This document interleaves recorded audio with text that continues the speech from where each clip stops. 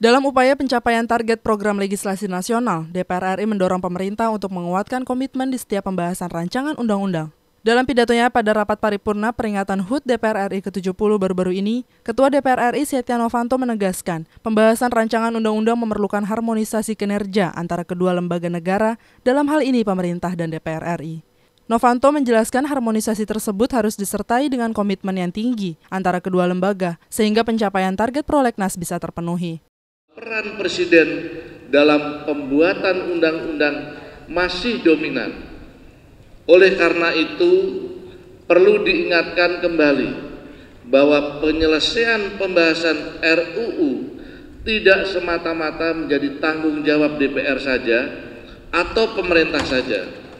Harus ada komitmen di antara kedua lembaga tersebut dalam menyelesaikan pembahasan RUU.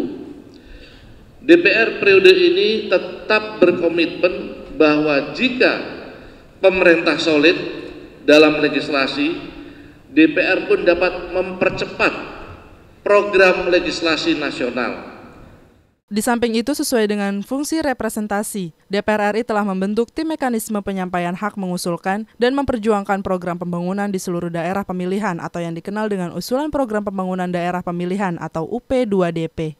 Melalui dukungan dan insentif peningkatan anggaran transfer dana ke daerah dan ke desa sesuai amanat Undang-Undang Nomor 6 Tahun 2014 tentang desa, pembangunan di daerah diharapkan dapat lebih merata dengan mengedepankan kearifan lokal di setiap daerah. Tim Liputan TV Parlemen melaporkan. you.